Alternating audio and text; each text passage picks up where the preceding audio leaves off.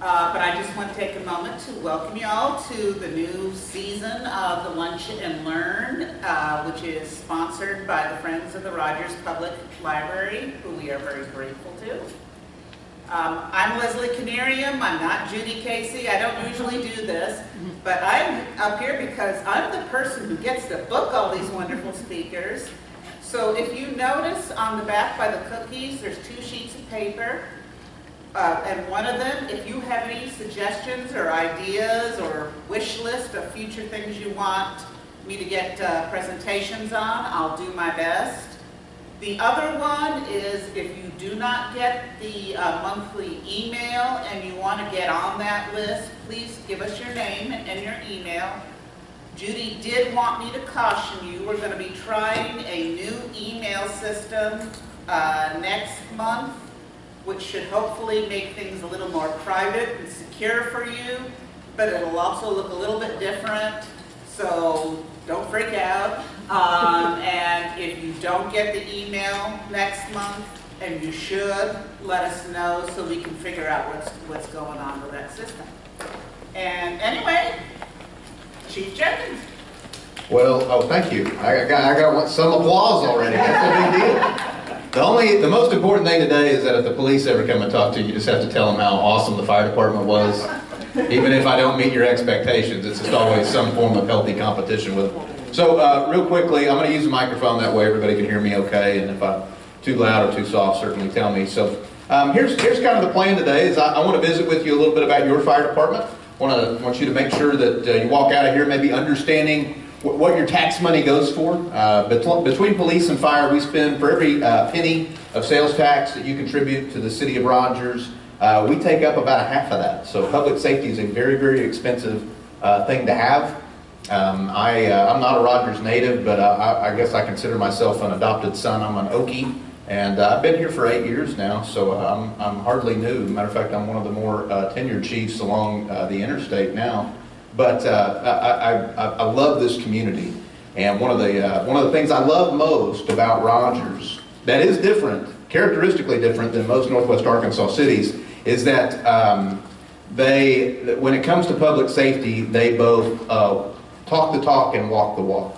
And so uh, your elected representatives on the city council and your mayor, um, when we have problems, and, and you understand when, when fire and, and certainly uh, our partners in the police department, when we have problems that we have to solve, whether that's staffing, whether that's equipment or training and all that stuff, uh, you know, you're, you're talking, you're talking about people's lives, right? You're talking about their well-being, you're talking about uh, the quality of healthcare they receive in our case, and so um, I'm, I'm delighted. Having worked in other cities and having been involved where I get to see how other communities deal with public safety problems, uh, I can tell you, as a public safety advocate, that we are very, very fortunate in this city to have the kind of support with our elected officials that we do. And I think it's important that I pass that along to you, um, because as a department head, it makes my job really, really tough if I have to do a lot of convincing and, and more convincing. And so it's nice that when we have a problem in this city and we can articulate a good, cost-effective solution for that problem, we get a lot of support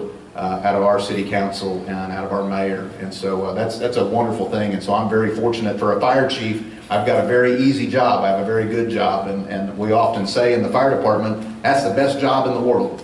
And uh, I watch my folks, my folks were in public education. I don't know if anybody else worked in the school system here ever, but I watched my folks go to, go to work for 30 plus years in the school system. And that's what caused me to decide to join the fire department, is uh, I decided I was going to have a job that I wanted to go to every day. And I've managed to pull that off for uh, 18 years, so I'm, I'm very fortunate.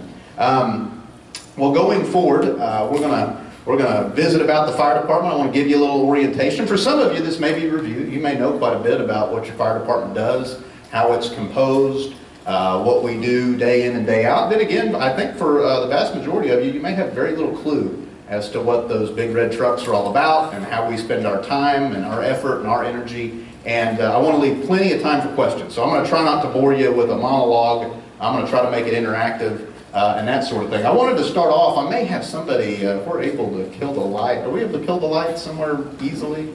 Uh, If we're able to do that, I wanted to start off real quick with a video. I think it's interesting. Um, The fire department does a lot of stuff, but one of the most uh, traditional things we do, of course, is fight fire.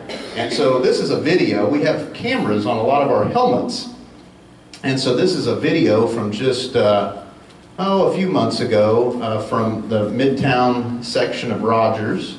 And I wanted to, it looks like we're absent, um, it looks like we're absent audio. And so based on the language of some of our firefighters during high-stress situations, that may actually be a good thing. So uh, we'll just assume they were reading, we may actually, if we're able to kill all the lights, that may be better, as long as nobody will go to sleep, that's a, that's a pretty dim video. So this is a helmet camera. They're, they're going to a call right now. And uh, I want you to get a kind of a glimpse, uh, without any, without any audio, of, of kind of what this looks like uh, when you, when you have firefighters. It's about 3 o'clock in the morning. So these firefighters just uh, about 90 seconds ago were awakened out of their sleep. Um, They're going uh, to a call that's a reported fire. And uh, I want you to see kind of some of the, uh, some of the things they have to experience and go through here. So they're pulling up, and I'll skip ahead real quick to make sure that the video is working.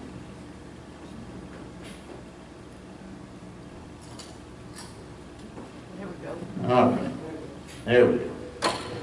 So they turned on that camera while they were going to a call. And so you see them getting out of a truck, and I, I think it's always interesting to, there's just, there's very few times in your life you get to see your tax money work for you. And so I want you all to enjoy this moment as best you can. And so these are firefighters going uh, to a house fire in the middle of the, of the night, and, uh, and that you see them put down their helmet, they're putting on their breathing mask, breathing air masks. They carry those tanks full of breathing air on their back. That protects their lungs and allows us to get inside a house that's full of real uh, toxic smoke. And if, we, if there are people in there that need to be rescued, uh, then we can pull them out. Matter of fact, we did something just like that a couple of weeks ago, uh, just off of uh, 13th Street in Dixieland in Rod, or 13th Street in, uh, in uh, Laurel in Rogers.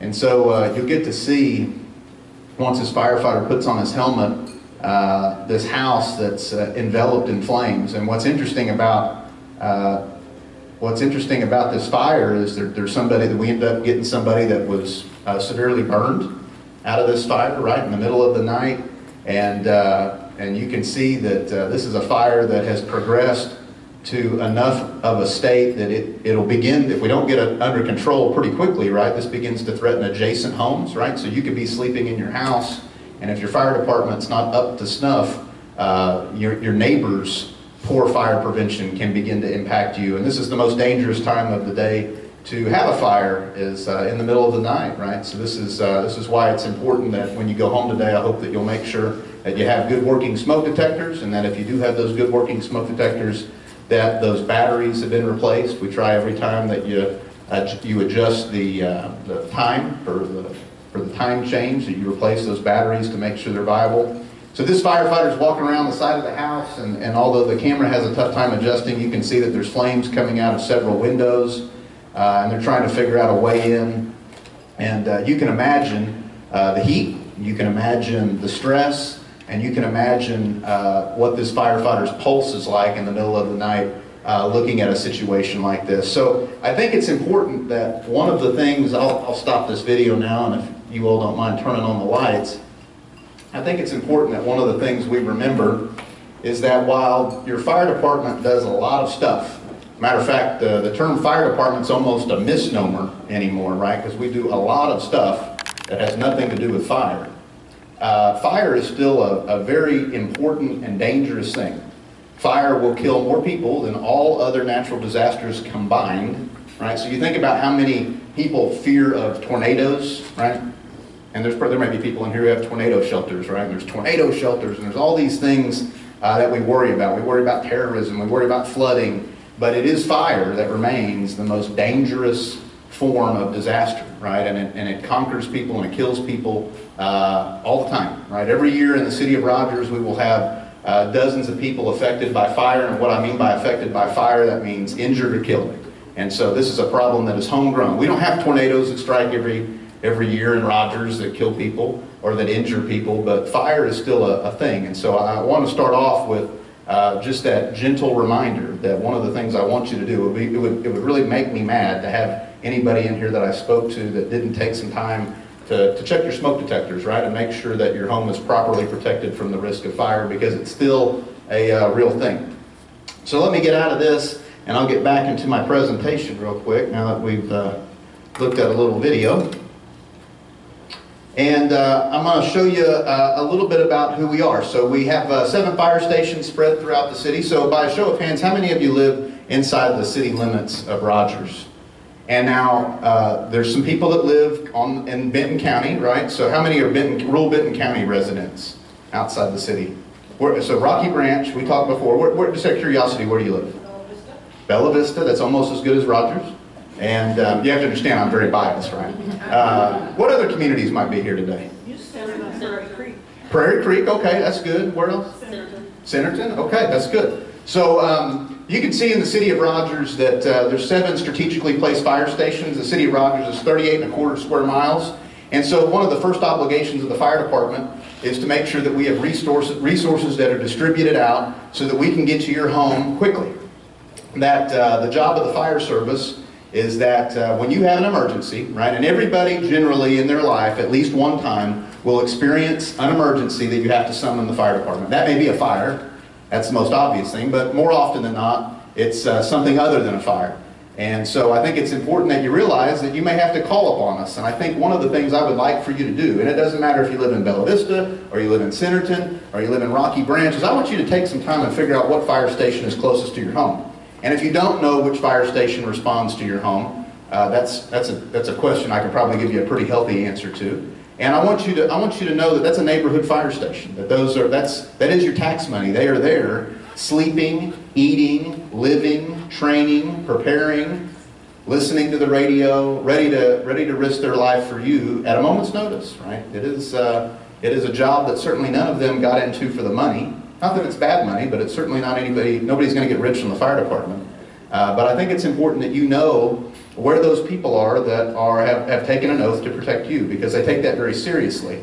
And uh, I have the great fortune of working with them all the time. And so uh, you can kind of see where those fire stations are. And I hope that as you'll, maybe after today, and maybe you do this already, that when you travel through communities, pay attention to uh, where those fire stations are. I think it's, I think it's neat that uh, one of the things we really have worked on in Rogers is that we want our fire stations to be visible. We want them to be cornerstones of their little, their little geographic niches of the community. We want them to be places that if kids have a flat tire on their bicycle, they feel comfortable going to the fire station because they know the firefighters will take care of them and that they're always safe there. We want bus stops at the fire stations, right? Because I think parents have a high degree of confidence in government, government employees that wear a firefighter's uniform. Matter of fact, year in and year out, uh, the most trusted government profession is that of a firefighter. And I think if you look in your own heart, uh, maybe you'll see that too. I hope you do. Hope it doesn't get any worse after visiting with me today anyway. So, oh, I'm sorry. What's the star in the middle between four? That is a great question. So uh, all of these little circles here, these are fire stations. This little uh, diamond thing in the middle is over here at uh, the 3100 block of West Oak Street. And in the 3100 block of West Oak Street, near the animal shelter in Rogers, if you know where that is, is our training center. So we, uh, what, what makes us, I think, uh, different, uh, maybe a different point of emphasis in our city is we put a lot of time and money and people into professional development. That, that you don't, you don't only, you just, you don't want three numbskull firefighters to show up to your house at three o'clock in the morning if you're having chest pain. You don't want uh, three average firefighters showing up on the interstate if you've been rear-ended and your neck hurts. You want brain surgeons. You want rocket scientists, right? You want the most capable minds that the, that the, the city could offer. And so that diamond is your training center in the city of Rogers. Uh, former Mayor John Sampier uh, had, uh, with the chief at the time, uh, Ken Riley, had the vision in the late 90s when Rogers was not the city it was today that we needed to, we needed to build a facility just to train our firefighters both in classroom uh, experience and they also needed to have a facility where they could do practical hands-on training. And they built that facility and it was underutilized for a long time but today uh, we, we have outgrown it already. And we rebuilt it right after I became fire chief a couple years into it. So it's a wonderful facility. It's used regionally. So I think it's a fine example of government working the way it's supposed to, where other firefighters from Fayetteville to Springdale to Bentonville to Bella Vista to Centerton, uh, will come over and use our facility and train with us because it's a team, it's a team job, right? You don't really care what the back of the shirt or the truck says when it pulls up to your house. You just want to see a fire department there, and you want them to know what the heck they're supposed to do. And so uh, that's a that's a wonderful benefit to our community is having that training center. So excellent question. So here's a little question. Here's a little uh, here's a little survey I want to do today. I'm always interested in these answers. Is I would like to know uh, what services you think your fire department provides. What do we do? What do we do? Put out fires. Okay, that's the most, that's the easiest question. If we didn't get that off the ground, I was going to be nervous. What else do we do? We have paramedics. We have paramedics, so we do emergency health care. What else do we do? Anybody know? No wrong answers. First response. We do first response, so a lot of times we're the first people there on the scenes of emergencies, very true. What else? Educate on trees. We educate, we educate people. Uh, we want people, we, we would prefer to prevent bad things from happening, so we put a lot of time, effort, and energy into that. We unfortunately do get cats out of trees. Those are, we've actually had a little uptick in that lately. So I know that sounds like a joke, but, but in all honesty, how many of you have pets? Everybody got a pet in here? Anybody got a cat, right? And if you're really nervous about uh, Mr. Kitty and Mr. Kitty's 40 feet up, there's not a lot of people you can call. And uh, we will, we, we will, if we, we think the situation warrants it, uh, and we don't have anything that's more urgent to do, we'll, we'll go help uh, the kitty cats or the dogs stuck in storm drains. We've had that this year. So uh, we try to help animals out, just like our human friends, if we have the resources.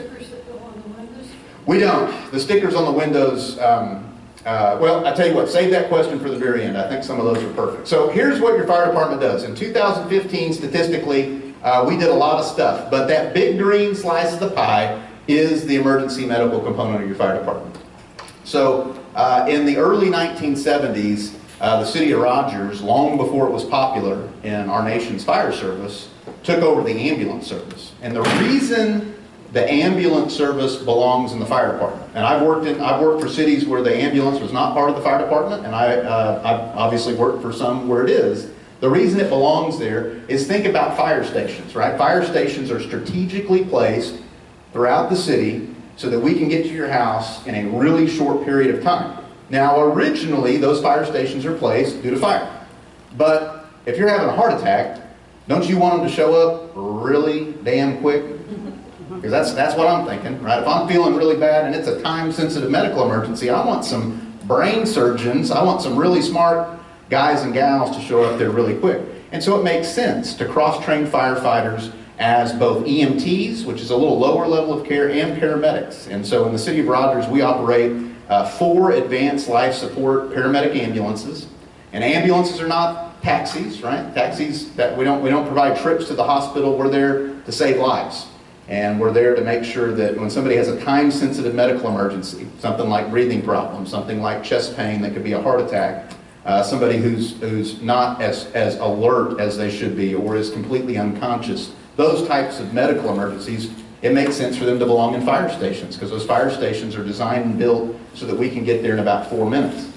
And so that's the bulk of it, right? That's uh, 73%. I know that's a little hard to see, so I'll tell you what it says. 73%. Uh, fires is a whopping 7%. And then we do a lot of other stuff. We do false alarms. There's alarms that go off, and we have to. If it's a real, if it's a real fire, it goes in the other slice of the pie. But we do a lot of false alarms. There's quite a few uh, businesses that are required by the International Fire Code to install alarms, and so we have to go check those out. And we want them to be false, right? We would prefer not to have uh, a lot of blazes in the mall and the downtown community. So we want, we like that number, I guess. Uh, we also go uh, to a lot of other stuff. Good intent calls, service calls. Those would be the cats in the tree. Those would be uh, people calling us to investigate smoke, uh, natural gas leaks. We go to. We're also your street chemist, is what I call them. But that, I guess the technical term is uh, hazardous materials people. All right. So if there's dangerous chemicals that are on the ground, if there's a, a manufacturing facility or a transportation uh, problem uh, that involves a hazardous chemical, leaking a gas, leaking a solid, leaking a liquid. Say somebody does uh, white powder scare, right? Remember when anthrax was a thing immediately following uh, September the 11th, 2001? We are the people that solved that. Uh, and we do it in Rogers very well. Uh, our, our folks, over 90% of our firefighters are certified as hazardous materials technicians, which is a which is the highest level of certification to manage that stuff. And so when I say street chemist, uh, that's not necessarily tongue-in-cheek. Uh, these guys and gals out there, uh, they know their chemistry. They know the interactions of oxidizers and flammable material and corrosivity and they're able to speak that language just like you would expect maybe a, a high school chemistry teacher too, and, and of course, they have to, they have to deal with it, right? They have to solve the problem and protect the environment, protect people, and protect property. So you can see we do a whole lot of stuff. That the fire department, if you have a problem and it is urgent, and it, if it doesn't need somebody with a gun, right? If it needs somebody with a gun, you call law enforcement. But if it's not a gun that's gonna solve the problem, in general, you call your fire department. That we do a lot, we have people that, uh, uh, we, we just do a whole spectrum of things to make sure we're taking care of our community, and we're proud to do that. So uh, by the numbers, a few little uh, statistics that may be of interest to you is that uh, there's about 117 sworn firefighters in the city of Rogers. You can compare that to other communities. This is, a, this is an area that we use to compare the market. So these are some Oklahoma cities nearby, and of course North Little Rock, Fayetteville, Springdale. So in the region, we have uh, a pretty healthy number of firefighters. The important thing to consider there is in both Rogers and Springdale, and uh, if you're familiar with Oklahoma, Broken Arrow, those are all departments that are running the ambulance service with the fire department. And so I think that's a real cost-effective way to do business, and I also think it's the best for the citizens. So that's a win-win in my book. Uh, you can see that it's a busy place, that in the city of Rogers last year, 7,020 times the bell went off in the stations uh, to alert them to an emergency, and that could, that's, you know, any, everything from fires to airplane crashes to people having heart attacks to uh, anything that they decided was uh, important enough to dial 911 and summon the fire department. And of the 7,020 uh, times we were called, we ended up taking patients to the hospital about 5,000 times. So this little graph down here shows you how many total patients we treated, how many of those patients we took to hospitals, and uh, reflects all the emphasis we put on our ambulance service. And for some of you, I suspected we would have a few that lived outside the city. And this, this is a little hard to read just because of the colors I chose, and that's unfortunate. But um, this shows uh, where we run outside the city. So we made, we're responsible in the city of Rogers for the Highway 12 corridor to the Madison and Carroll County lines. And we also protect the Highway 94 east area towards Horseshoe Bend. And so there's a lot of area that is outside the city that we provide the ambulance for. Um, so the, where were my Prairie Creek folks earlier? Where were you all hiding? Prairie Creek. So we, we take care of you, we take care of Rocky Branch.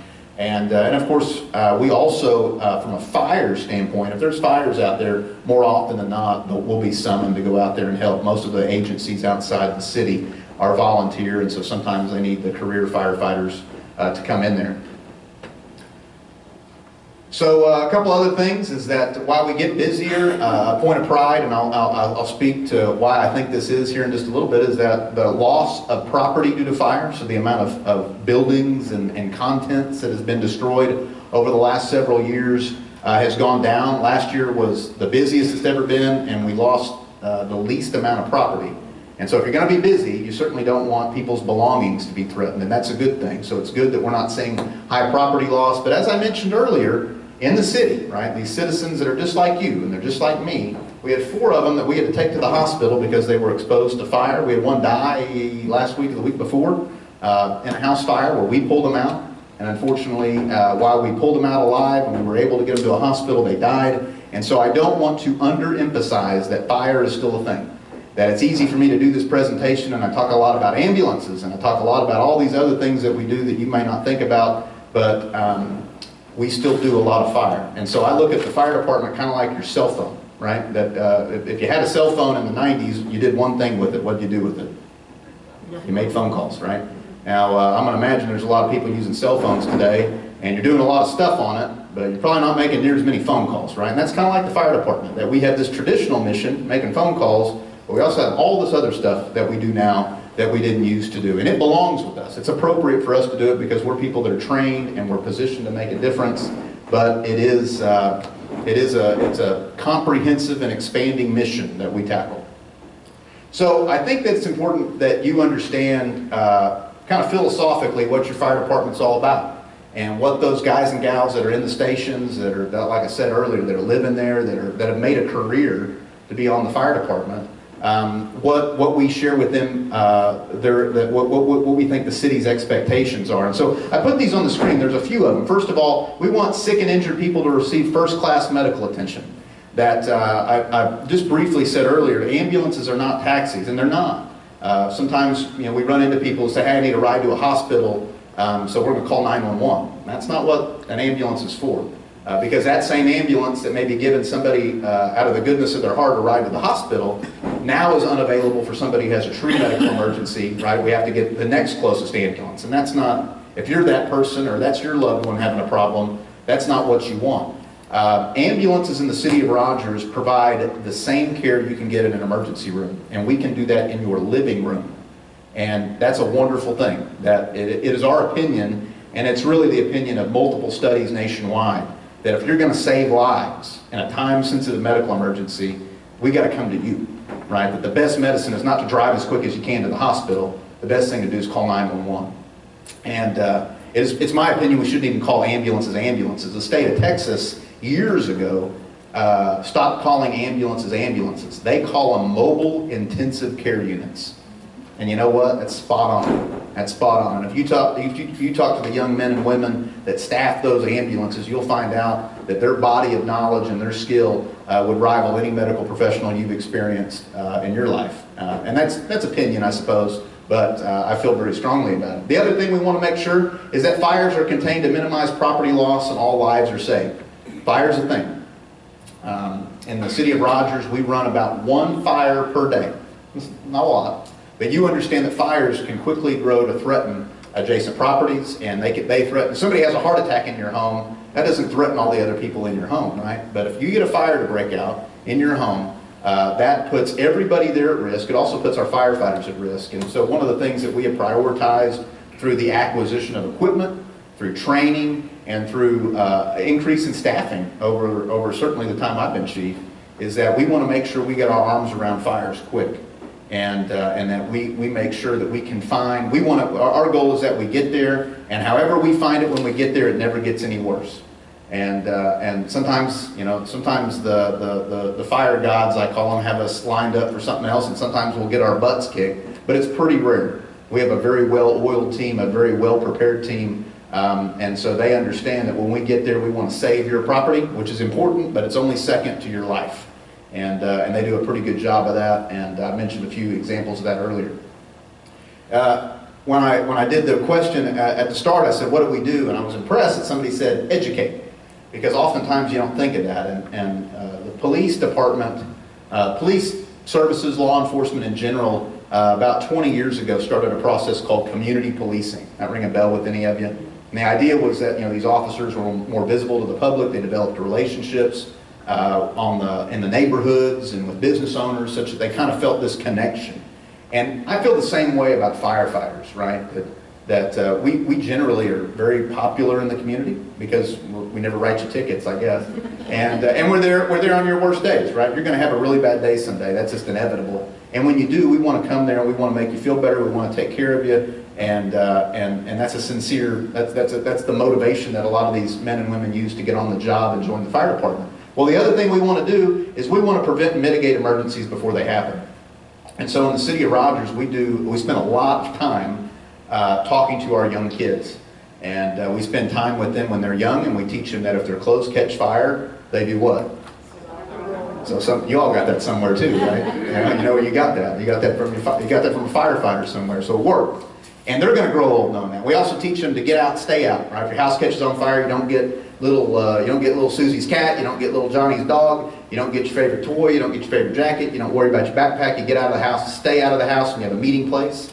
Uh, we tell them to practice exit drills in the home. Right? We want them to practice as if they have a fire and practice what they do and what to do if the doorknob's hot. And we do all that stuff with our young, our young children. And now, starting in about 2011, we also engage them in middle school. And this is what kind of makes us a little different, I think, is that uh, we get those middle schoolers and we teach them CPR.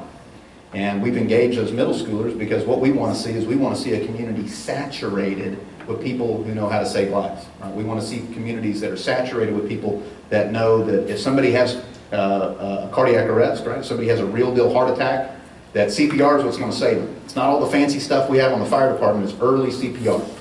And, uh, and you know, maybe I shouldn't say that. Maybe I should tell my mayor and city council I need some more fancy, you know, equipment. But the fact of the matter is it's CPR that makes a big difference in saving those lives. And so we get those middle schoolers, right? And we, and we engage them because people are more likely to jump in and help in an emergency if they've been exposed and trained as to what to do. And, uh, And so I think that that's wonderful that we continue to do that. And of course, we, I mean, I think the favorite, probably my most favorite thing I do is doing stuff like this. I love interacting with our community. I love going to visit Rotary. And it's amazing to me uh, the kind of support we have. We have a wonderful city. Um, you know, it's by far the best in the state, best in the region. And I'm, uh, and certainly no offense to people who live elsewhere. That's not what it was intended. But uh, I got to root for the home team because, uh, you know, I'm, I'm proud of it. This is a wonderful city, wonderful people to protect. We expect, uh, you should expect that your fire department gives you a friendly, reliable, and quick response when you need, when you need help. Right? That, that you kind of have that, whether an emergency is time sensitive, whether you experience an emergency really is you to decide. You pick up the phone and dial 911, you should expect that in a very quick order, you have uh, somebody who's knowledgeable, somebody who cares, somebody who is friendly, somebody who is reliable to help solve your problem, right? And that may be your pilot, but we get those too. You know, somebody's pilot light blew out and they smell gas and they just want to make sure it's okay. They're, uh, they, they, they, they're, they smoke detectors beeping and they want to make sure that it's not carbon monoxide or, or something else going on. We, we get those calls all the time, but you should expect that, right? Where your tax money at work, you should expect us to get there quick, be friendly to you, solve your problem, uh, you should also expect equipment training and expertise for any emergency that doesn't require a gun. So this is a presentation you can tell I've used for years, that, uh, that we've taken on a lot of job responsibilities that uh, decades ago were not part of the fire department. And, and it's not just emergency medical stuff. And so uh, you, for those of you that live in the city of Rogers in 2011, you passed a bond issue. It was actually an extension of an existing one cent sales tax that uh, for us purchased nearly $5 million worth of equipment to make sure that uh, when we show up to your house that the transmission on the fire truck's still good. And to make sure that we have all the hoses and nozzles and tools and ladders and all those specialty things that we don't use every day. But when, when you need them, you need them, right? And uh, so for those of you that were that live in the city and that voted for that 2011 uh, one cent sales tax extension on behalf of your fire department, thanks. You've, you've, you've made your city safer and you've also made us safer, right? Good equipment keeps us safe too. The other thing that we're big on is transparency and performance, and I hope you kind of get that today. And we collect a lot of data. The decisions we make are very data driven, that uh, the way to solve problems, unfortunately we don't live in a world where we can just throw money at problems over and over again. That some problems do take money, that's just the fact of life.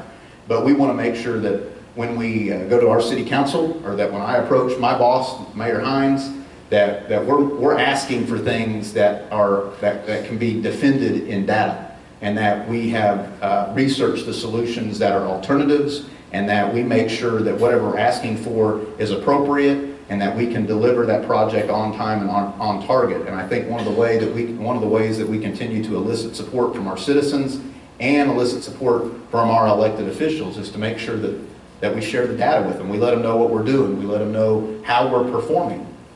And so if you go to our website, best evidence of this is that if you go to our website, uh, rogersar.gov slash fire, uh, there's a section called documents and downloads, and you can see month by month how well we do responding to cardiac arrest. You can see how many people we save and how many people we do not save. You can see how much, how much, how many, uh, how much dollar loss we had to fire in the month of May and how much we had in the month of July. And we have that for years and years and years going back so that you as a citizen can find out how good is your fire department doing. And, uh, and I think that's important. I live here too, so it's important to me. And I want to make sure that, uh, that, that we're working hard for your money because that's what it is.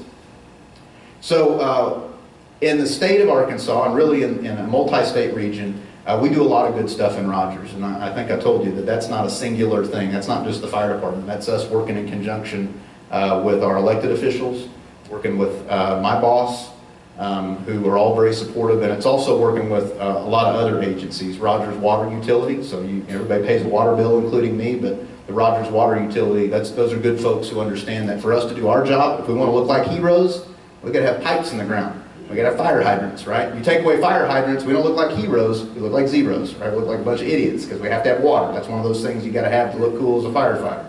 Um, the police department's another one. The 911 center is part of the police department. And we rely on the police a lot to help us with traffic control, to help us solve uh, more complex emergencies. And those folks, and it, it, sometimes you'll, you'll read or you'll see on the news, you know, this rift between police and fire. And I'm, I'm on my third police chief since I've been the fire chief. And uh, it, it's almost like they just keep getting better in a lot of ways. And uh, that, that is a wonderful organization. Police have a tough job. Uh, they're not always as popular in the community just by the nature of their work.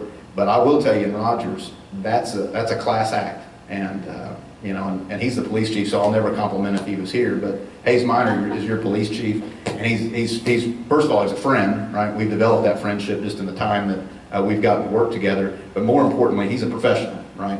And uh, he knows what the heck he's doing. Uh, he's a law enforcement officer that understands the complexities of 21st century law enforcement, and, uh, and we're in lockstep together. And that makes a difference in your city, right? Because we're going to have, the bad things happen in good places.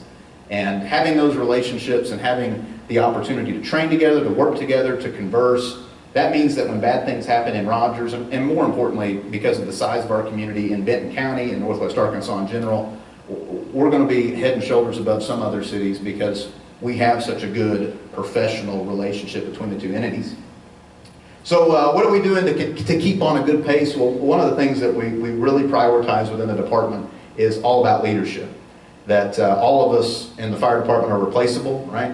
And uh, my mayor may wake up tomorrow and decide that uh, I'm a knucklehead and it's and that my expiration date has arrived and, and then it's time for me to go down the road. And if that's if that happens, uh, it's our priority that we have a multitude of, of leadership options to pick from. And so I'm hoping that he'll come while I'm here. But a fine example of this is that the newest chief in Siloam Springs is a, he's a Rogers alumni, right? He was a Rogers firefighter, and we trained him. And he was part of this group that we really started pushing, right? And, and providing educational and training opportunities, uh, getting them opportunities from, for promotions within the fire department to expand their decision making. And then what happens? We have another local community who says, that guy's a good leader. We're just going to take him, we're going to rob him. Now, we were, we were essentially a farm team. There's no finer compliment to our city, right, than when other cities go, we want your people. Uh, a deputy chief I had just a few years ago uh, is now the fire chief in Kingman, Arizona. They shipped him across country um, because he had that kind of value. And so that, that's, sometimes you struggle for evidence you're doing the right thing, but when, if you're training people to be leaders and you're giving them those opportunities and people are robbing them from you, no finer compliment in the world than to see those people go off, make a difference, and kind of be uh, disciples of the city of Rogers. You were the youngest one they ever hired. Yeah, I, I had a lady call me uh, probably a year ago, and she was mad about something. She was hacked. This I don't get many calls like this, and she she asked me what my authority was and how old I was, and I told her, and she goes, "Sir, I do not think you have the wisdom, age, and authority to be making these decisions." And I told her, "Ma'am, I could not agree more with you. I, it's uh, it scares the bejesus out of me that they have me making these decisions, but by golly, for eight years, they've, there's no other option in the city right now." I definitely have a lot more gray hair than I did when I started, I promise you. Uh, the other thing we do, and, and you kind of got that through transparency, is we measure everything that we do. Everything that we do, we measure. Because the only way you improve is if you know how you're performing, right? You measure and you improve, and you measure and you improve. Uh, if you go in our central fire station downtown on North First Street, we, I've got signs in the office that just say measure and improve, because that's important to us that when I, uh, probably the best example of that, I may touch on this in another slide, I can't remember, but um, in 2011, we uh, started measuring cardiac arrest performance to see how many people lived if we encountered them and they were having a, a real deal heart attack, which means they were clinically dead. Chest pains, and sometimes the- these are muddy waters, but if you're in cardiac arrest, uh, secondary to a cardiovascular compromise, you're clinically dead, right? These are people you're doing CPR on, for instance. And we looked at all those people, about 100 a year is what we see in Rogers that meet that definition. And we said, how many, as a percentage of those people, do we save? And the percentage was 7%. And you all probably don't know if that's good or bad or otherwise, so I'll tell you it's horrible. Um, it was embarrassing. And uh, we said, you know, we're going to do better. And the city had the, the foresight to say, uh, you know, we'll get behind you, Jenkins, on whatever we need to do, but we've got to save more people than that. And we shipped our butts off to Seattle, uh, King County, Washington, and started copying what Seattle and King County have been doing since the 1960s. And in Rogers now, uh, it's probably the best place you could have a heart attack nationwide. Uh, or at least among uh, an elite list of cities that if you something really bad happened to your heart, uh, if you can live, this is where you can probably pull through. And that number has gone from about 7% to every year it hovers in and around 40%. And that's no small thing, right? That's a lot of kid, that's a lot, that's a lot of kids that get to see their parents and grandparents at their soccer games, at their high school graduations, and all that stuff. And so, uh, not to be melodramatic, but there's very few times government gets to save your life. But every now and then, if you're paying that sales tax, maybe, uh, maybe you'll look at it a little more favorably next time. So we got to measure in order to know what we're doing. We try to collaborate a lot, um, specifically with the cities of Springdale and Fayetteville. Um, being an Okie, the, the fire chief in Fayetteville is from the city of Tulsa. I've known him uh, most of my life and all of my career. And the fire chief in Springdale in particular, Mike Irwin, uh, is out of Lee's Summit, Missouri, so they're both outsiders. And we have a wonderful relationship with those large neighbors. Uh, we also work hand in hand with some of our local volunteer fire departments. So Jerry, we talked about Jerry Oliver out in Rocky Branch. I had conversations, email conversations this morning with uh, Mr. Wizenant, the chief in uh, Beaver Lake. And so we, we try to collaborate. That you know, get a lot of governmental entities, and things always tend to go a little better if we can all get along and we can all be on the same sheet of music. And when that doesn't happen, you know how that goes too. Um, we also try to use technology a lot. So you saw helmet cam footage earlier, right? We, we, we learn from that. We don't have that just so we can have cool videos out there. Um, matter of fact, we don't even publish them publicly. We use that information to say, how is our training doing?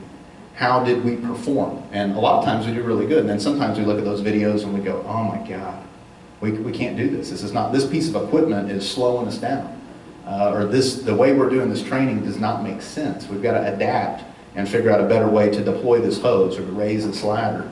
And so you can see this, there's countless uh, elements of evidence that technology is a big part of what we do. So I talked a lot. Uh, I'm going to try to wrap up quick here so I can take questions.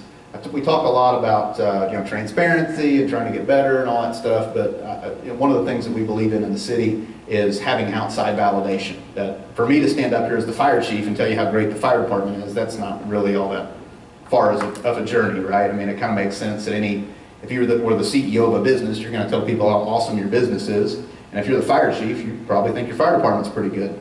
And so what we do is we spend a little bit of money, about $10,000 a year, to have outside evaluators come in here and look at both our ambulance program, that's the Commission on, uh, Commission on Accreditation of Ambulance Services, and we also have the Commission on Fire Accreditation International come in and they look at how we respond. They look at our response time performance. They look at how quickly we slide down the pole. We look at how quickly the 911 center processes, processes calls and how accurate that call processing is. They look at our policies, our procedures, our training records, and, and they rake us over the coals. And then they get to determine, based on that independent recommendation, whether or not we receive these stickers that go on the side of our truck. And, uh, and we've got them. We've had them both. Uh, we got the first one in 2011. We just last month uh, were reaccredited for another five-year term through 2021. And our ambulance accreditation was redone in 2015. That's on a three-year cycle. Uh, what's interesting is our police department is accredited too. And when you add those accreditations together, and I may have in another slide, oh, it even says it here, I'm sorry. Uh, we, we just in the very end of 2014 received notification that we were we had the lowest insurance rating. So on a scale of 1 to 10, every fire department in the country, all 33,000 of them are rated on that scale of 1 to 10. 10 being the worst, and so you pay the highest homeowners insurance premiums, and 1 being the best, and you pay the lowest homeowners insurance premiums. And uh, we were fortunate enough to be a 1. We're the only one in the area. You add all these accreditations together, you get with our police comrades, and what you find is that we're a unique city of about 1 in 4 across the entire country that has all that stuff. And these aren't, this is not, uh, these are not feathers. This is, we're not being a peacock and just showing y'all our pretty feathers. This, this stuff is hard to get. And, and it's important to me because you got to have evidence that you're doing the right stuff. Everybody's got an opinion. But when you have outside experts, we had uh, this last accreditation cycle, uh, firefighters from metropolitan city Toronto was down here, so Canadian, you know, down here checking out how we do business in Rogers, Arkansas, uh, Charleston, uh, Denver, and, and Kansas City, right? So these are, these are respected metropolitan areas uh, with, with subject matter experts that we're, that's what we pay for, is to fly them in here, and we pay for them to give us a bunch of headaches for a week and rake us over the coals. Doesn't make a lot of sense, but I hope it does make you feel better about how we invest our time and more importantly, all of our taxpayer money. So it's, uh, it's not just my opinion, I promise it is outside influence too. We, uh, I was glad earlier you asked about that diamond, and I said that's our training center. And uh, one of the most important things we do is we train our firefighters. Now, we don't want our firefighters to um, always uh, be at the training center. We want them to also be at fire stations from time to time, right? That's important. They need to be uh, in your neighborhoods ready to protect you. But we do book up a considerable amount of their time uh, to make sure they're training. And uh, we train entry-level firefighters here, so in the northwest Arkansas area, we take everybody's rookie firefighters here in Rogers, and we turn them into actual firefighters over a 12 to 18 week process, depends on the fire department. Everybody's kind of got different requirements. Uh, we train, of course, on emergency medicine. We train how to command and control incidents. We train on developing good leaders and officers that we still have to, uh, for those of you that worked in business and industry, right, you still have supervision and, and all of those, those leadership philosophies that we have to make sure we have out there. And uh, this is the number of hours we train per year. We have about 100, we have 128 employees of the fire department, 117 of those, including me, are sworn firefighters. And so those firefighters are training tens of thousands of hours a year. And what I think is important is to look how that number grows. And, and so, you know, just because you don't hear sirens at, uh, coming from your local fire station doesn't mean those guys and gals have been in there watching TV and uh, sitting in recliners. It means that we try to book up every, some portion of every day they have with training. And then what is miraculous to me and says a lot about the men and women that, that work uh, in our fire department is that uh, they do a lot more than they have to, right? They, they occupy their own time and they want to be the best, right? And they don't mind training a little extra and doing some on their own, and that's really a wonderful thing. And so these, these uh, pictures are hard to see, but this is just some of the stuff over the last year, right? Dealing with a flammable gas fire, they're training for that, they're in the embassy suites, uh, hotel, practicing uh, deployment of hose in multi-story buildings. They're uh, here in a concrete, this is, this is supposed to simulate a collapsed building. We carry a lot of equipment that if we have a Joplin tornado happen here in Rogers, there's a lot of stuff sitting right downtown with a lot of people who know how to use it that, that we can start rescuing people hours ahead of any other option and certainly hours ahead of, Joplin had to wait for us, right? So uh, we're, we're, in a, we're in a good circumstance. And then sometimes you, know, you have people that are window washers and that you may have to click, pick off of the side of a building and we have to be ready for those sorts of emergencies too. Cars that go off the side of bridges is another example of that. So I talked to you a little bit about uh, the bond and how important that was, and so we've, we've replaced the fleet uh, uh, one time over since I've been chief. But uh, I'll just tell you, you know, fire truck probably looks like a fire truck to you, so I don't expect you to be fire truck experts. But the apparatus and the equipment and the facilities in this city are uh, head and shoulders above any city I've ever visited. And, uh, and I, I, I'm heavily involved in our International Chiefs Association, and I travel just enough for it to be a pain in the butt. And I get to see a lot of different fire departments. And I'm telling you, right here in Rogers, Arkansas, um, we have a community that has done a good job taking care of this. That's you all, right? Spe specifically, that bond issue uh, just did wonderful things for us. We have a program. I talked to you about uh, earlier about the uh, middle school kids, and we train them in CPR. And, um, and uh, we have a program called CPR Rogers, and I know that's super clever, right? The Rogers and CPR and the same deal. And, um, but here's what this program is all about, is we spend a lot of time trying to make sure that people know how to do CPR. And I'm not talking about healthcare provider CPR that we would be trained on, or nurses or doctors or whoever else. Uh, we try to train people on what they call friends and family CPR, that where you're most likely to interact with a dead person that you may be able to bring back to life is going to be a loved one, right? That's and that's that's the that's when you're most likely to see them, and that's when you're most likely to to be willing to step up and and do something.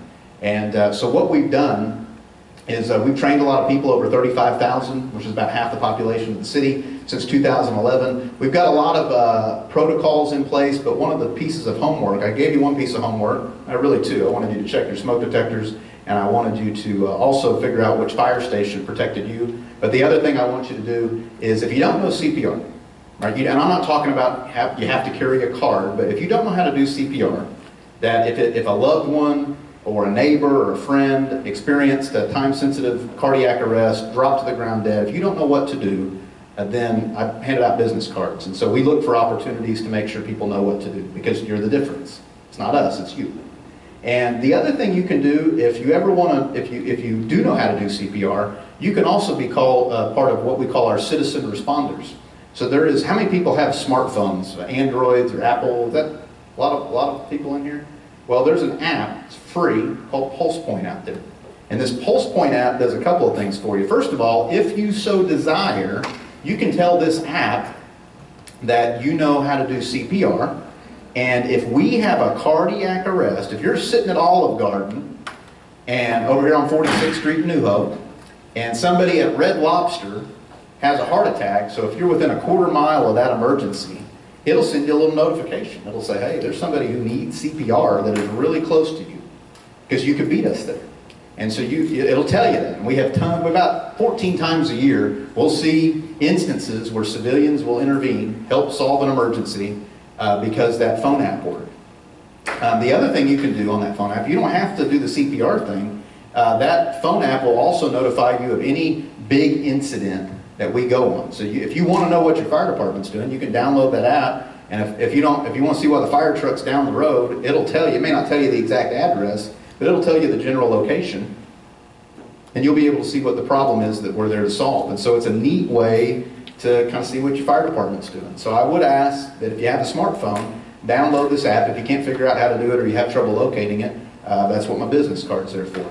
And so, go ahead, I'm sorry. Yeah, does Arkansas have a Good Samaritan law? Yes, Arkansas, believe it or not, has a very robust Good Samaritan law, which even include, includes the use of defibrillators. So if you shock somebody as a civilian, you're covered. And of course, they have to be alive to sue you anyway, so if you get them back alive. I don't see it being uh, too big of a deal. So let me, uh, let me real quickly tell you kind of what's uh, next for us, and then I'll leave you just a little bit of time for questions, and I think I'm tracking right, is that our next fire station is in the planning stages. So uh, our next fire station is going to go in the extreme southwest corner of the city. Is very difficult to see, uh, but this is the Shadow Valley Country Club area. This is the Pinnacle Hills Country Club area. There's an extensive road construction project involving Pleasant Grove Road and then Southgate Road that runs, this is an old uh, photo now, but will run somewhere in here. I think it actually jumps up like that. And we'll go out to Highway 112. And we're going to put a fire station uh, basically across the street from Shadow Valley uh, that will protect the very western edge of our city, which is uh, right now uh, presents us some problems. So I told you that all of our decisions, of course, are based on data, and that's kind of how we found it, is that we modeled uh, the response time out of our different fire stations. So Station 5 at the Pinnacle Hills area, Station 6 is over on Bellevue Road, just south of Pleasant Grove Road, and we looked at the number of incidents that occurred uh, in a given year that we did not meet our own goal of being there within four minutes travel time, four minutes drive time. And look at all those calls, right? That's all in Shadow Valley. Uh, Those are emergencies for a given year. And so we know that uh, the city, there's a huge subdivision that's going in this little area of the city of Rogers, and there's another subdivision being developed right on this corner, which is about another 50 lots. And so we're seeing a a very significant amount of population growth. And so our new fire station is going to go about right where that red dot is. And uh, so I thought it important to kind of share with you a real world, example of how we use data to figure out where we need to invest your tax money, which is a thing. And uh, when we put that fire station uh, in service, this is proposed Station A, that's in the same basic vicinity. Uh, the last photo I just showed you, um, this, these little, these colored footprints indicate how far we can go in four minutes. And so if it's got that shading, that's good, that's what we want to see. And what we see over here is that the city limit boundary is all shaded. And that means that we can meet our goals for those citizens. And uh, that's important to all of us, but of course you have to understand it's especially important to me. So uh, I, I, the ask today is I want you to make sure you know CPR, and I want you to consider downloading PulsePoint. I think that's a, I think that's a wonderful tool um, for you to, to stay engaged with your fire department. And what I'm hoping to do now is I'd love to see what kind of questions or concerns or sudden emotional outbursts I might be able to handle today. So yes, ma'am. All the places you go, you talked about teaching the kids, what about the seniors? We, uh, we don't have, the nice thing about kids is we've got them corralled already. Uh, we love to teach seniors. Um, we go, uh, we have a, a very healthy relationship with the Adult Wellness Center. The problem with uh, ret- the retired community or senior citizens or whatever kind of group it is, is, um, is, is finding a large number of them, but we don't shy away from any number. So if there was an opening here, right, we'll come here, we could do a CPR over lunch thing here. It takes probably 20 minutes, but any opportunity you have for us to come and maybe visit with a group of you, we're on it. We love to do it. So I would contact you at the number. Yeah, call me and I'll get you to the right person or I'll handle it myself. Absolutely. We'd love to do it. Love to do it. No group too Well, small. Just teach seniors the right and wrong of things, because sometimes we get, I will bring this, we get a little bit. Oh, I understand. I understand. If I was going to educate my parents who would fall into that category, I'd have to go to the casino though, so it's just rounding them all up. They like to spend my inheritance. so It's good. Uh, on a carbon monoxide, Uh-huh. I know we keep our battery up to date, but does it ever need to be uh, checked for sensitivity or Um, whatever? it, it really depends on the model. As a general rule, in both carbon monoxide and smoke detectors, they recommend replacing those at ten-year intervals. Um, if you ever have any doubt, though, you can always call your fire department. We can come out and sample the air, um, and see if we detect any trace elements of, that would, you know, be carbon dioxide, excuse me, carbon monoxide. Yeah, carbon so- monoxide, Well, I put Go ahead. lifetime batteries, I put twenty-year batteries in mine, but I test them twice a year. Well, if you're testing them, re- really, you know, if we, if we follow the, the recommendation, we really want you to test it every month. Certainly 20-year batteries are better than what a lot of people use. Um, We just want to make sure that it's well taken care of. So even the ones we install now, so if we come out and install a smoke detector, which we do free of charge, we actually do them with life, with 10-year, what they call lifetime batteries too. Um, But in most people's homes, they're using, uh, you know, just regular Energizer 9 volts that are not designed to be in there for a long time. Um, So just as long as you're testing it, you should be okay. What, there's a question, I'm sorry. I just had a thank you. I have a now 18-year-old, but when she was 14, she actually has a type of epilepsy where she'll go into a grand mal seizure and code. Wow. And um, they were at my door in like less than two minutes. I mean, it was incredibly fast, Oof. incredibly fast. But I have her with me today, I mean, she's life today because of you guys. Well, that's, that's So the kind of story we want. Pretty tremendous stuff. I was very impressed. Well, I'm glad that she's obviously doing okay. I'm glad, glad we were up to the occasion. Yes, And- ma'am. And I know. Quite a year ago, the, oh, I'm, Go ahead, you're fine, sweetie. in early October of last fall, about 11:30 in the evening, my phone rang, and a voice said, "Oh, call 911." Didn't sound like anybody I knew, but I said my daughter's name, and she says, "Oh, call 911." I just hung up the phone, I called 911. They answered immediately. I told them that the emergency was not at my house. I live off of Dixieland and Olive. The emergency was at my daughter's house. She's off of Dixieland and Oak. I told them where she was, that I didn't know what was the trouble, but she was terrified and could, seemed like she could hardly breathe. She's dispatching people, we're on the phone, I'm trying to get some clothes on, and I said, as soon as I know they're there, I'm going to hang up and leave here. She said to me, they're at the house. I left. When I got there, they already had her out in the emergency vehicle with pros taking care of her. They told me she's having a heart attack. We're taking her to the hospital. The police officer was there. He says, we're, we're secured the house. I followed the ambulance. The wonderful crew at the hospital knew just what to do. One of her arteries was closed off. They got a stent in. The other arteries are beautiful, and she goes for her one-year checkup next Monday. Good. But those people, everybody I dealt with was absolutely kind, calm, considerate, and most of all, very professional. So we met your goals, right? Absolutely Not just lip and service. more. That- That's good. That's Absolutely good. and more. Yes, sir. You know, I uh, understood that uh, the reason that um, Seattle was one of the best places, that sounds wrong, to have a heart attack was because they had so many AEDs deployed throughout the city and because they made it mandatory that everybody, you know, citizens learn CPR. In fact, you had to be proficient before you could renew your license, your driver's license.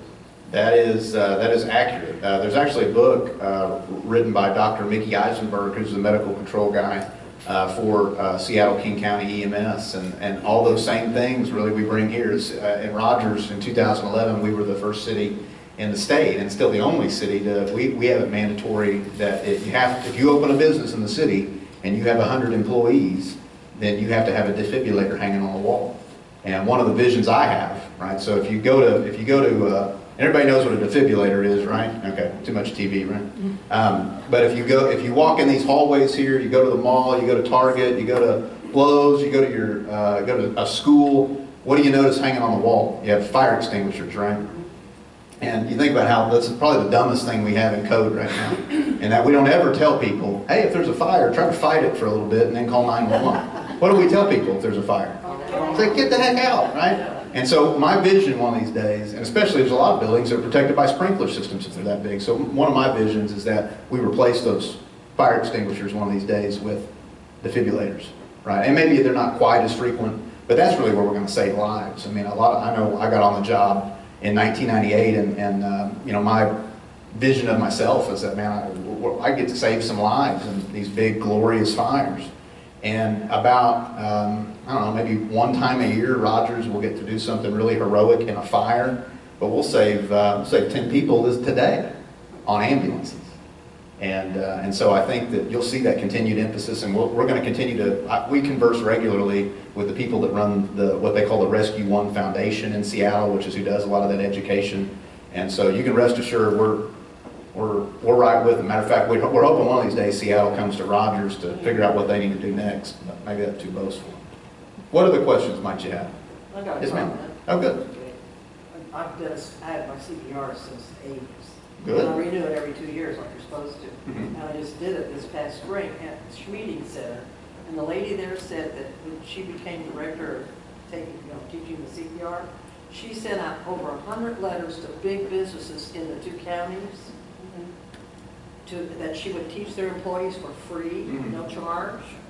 And not one company took her up on it. She was really disappointed. Yeah, and I don't know why that is. The good, I guess the good news there is we do a lot. We do a lot. We'll come to businesses and, and do some, what, law firms and just big, small. And so I think it may be that, that, that niche has been filled by fire departments. It, it may not be that they're not doing They it. respond to her. That is a little shocking though. It's a little frust, that'd be a little Her frustrating. class was three hours. Yeah, well, and that's probably for certification. Yeah. Yeah, we just try to get in there and give people some uh, assessment. So any other questions that I can answer for anybody? I, I really appreciate you all. Oh, yes, ma'am. I got one, I got two Oh. questions. Uh, How much does the uniform cost? The protective clothing? When they go in, when they're. With everything, that's about three thousand dollars. Yeah, including the air tank on the back, a lot of them. And You had to replace them, what, every five years? About every ten. This kind of depends on the use. Its recommendations about every ten years. Somebody that's riding an office desk most of the time, like me, can go a little longer, right? There's people who may, may need may need it a little bit more frequently. Well, they tell me that Rocky Branch has a good score. It's not a one, but it's not too. It is. It is good, yeah. And yet, most of us, who, my neighbors, they, our insurance company will not give us any kind of discount.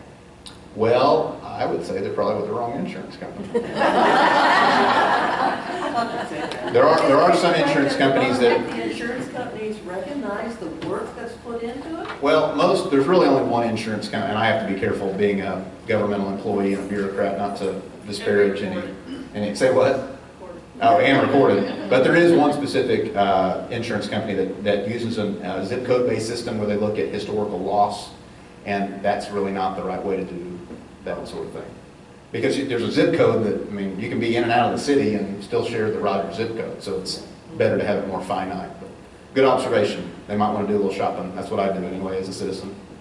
A- Any other questions at all? Yes, sir. I believe you said your office is in the downtown Rogers Mhm. Fire Station. Yes, sir. How often do you get out on a call yourself? Oh, uh, well, that's a bad day um, if I'm out on a call. But I would say I probably, I, I don't go to a lot during the day. We, there's a lot, there's, there's layers of supervision that make that not a, a good use of my time, and I don't ever want to be seen as a micromanager. What I try to do is usually make some of the overnight fires. So if there's a fire overnight, I think it means more to the guys and the gals to see me there about 2 a.m., right, than it does at 2. If I'm, if I'm there at work anyway, it's probably not that big a deal for me to show up. Um, but I try to make some of the overnight stuff. Now, if it's a multi-alarm thing or if it's something of, of pretty uh, reasonable significance, so a hazardous materials leak, um, something that, that maybe is at a school, uh, that'll get my attention pretty quick and they'll call me and, and make sure I'm aware. But I, I listen all the time. My radio's over here and I stay probably two in touch, uh, I would say. Yes, ma'am. You said guys and gals, just out of curiosity, how many of your firefighters are women? Well, I'm happy to report that we have increased the number of women on the department just in the last year by 100%. Uh, to two. Uh, Two women. And they are wonderful. They are wonderful. The, the, the, the firefight, the, the female firefighters that we employ, we're looking, and we look for more. Um, they are, they are phenomenal. They're, they're, they're a much better firefighter uh, than I am. And they're tough, and they fit in wonderful, and it's just, uh, it's a struggle in the fire department to recruit women, and, and they, uh, they make, they are shining examples of, of uh, all-around good firefighters. One of them's a paramedic, uh, the other one we just hired out of Minnesota, and so we do a, we have a very, very large recruitment base, so it's, uh, I know that sounds silly, but we, we have people that move across the country to, to join the fire department here in Rogers, and so that's a neat thing. I, I did want to take a second. I mentioned earlier one of, one of our, we were talking about leadership and training and development of future leaders, and I told you about the guy who got uh, shipped off to Siloam. So this is Jeremy Kreiner. So Jeremy uh, hired on, hey, he got applause and rock. We don't clap for Siloam, it's like a karaoke. Too competitive. Um, But Jer- Jeremy got, got hired on here in 2006, and 2005 I was close. And, uh, and he, he was here, he used to be the captain on the ladder down here, the ladder truck down here on uh, Pinnacle Hills Parkway, and did a short stint. We have a heavy rescue unit that sits at the new fire station in Station 2. That's a real technical uh, unit, uh, one of, the- really the only one outside of Little Rock in the state, and he, he uh, had a really distinguished career here, and, and so now he's, uh, now he's on to uh, better adventures in Siloam. So a lot of Rogers influence in the area, I think that's cool. Any other questions? I don't want to take any time. Yes, ma'am? Are you as good cooks as they make you out to be? I think so. I think so. Of course, I'm biased, and we have no accreditation for our cooking, but uh, they're pretty good. I think if you look at our kitchens, they, they definitely are equipped to be good cooks. Yes, ma'am? Um, I just, since you mentioned cooks, um, I was in New York, staying at the Marriott Hotel just before 9/11. Yeah, the one attached to the Trade Center? Yes. Yeah.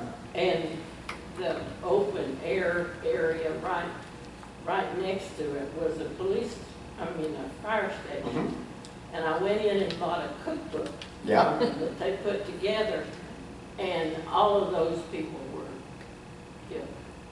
That's good. I mean, like, You said they were killed. It, when the tower. Oh, that's not good. Yeah, because they were right. Yeah, that, Engine 10 in Ladder 10, yeah, that- that's a, that's a pretty famous fire station. But I love my cookbook. Well, that's good, that's good. I'm glad you have a cookbook. That is a good thing. So you can put out a cookbook or a calendar? Well, we, we don't, we get, we get asked about the calendar. uh, uh, But but with only 117 of us, it doesn't take more than a few years before you're running a little thin on that. I see those calendar sales dipping before too long. Uh, We'd probably make it a few years and then be popular. Uh, Anyway, thank you very much for your time uh, today. I hope you enjoyed it as much as I did. My cards are up here, so if there's anything you ever need, please don't hesitate to reach out, and uh, thank you all very much.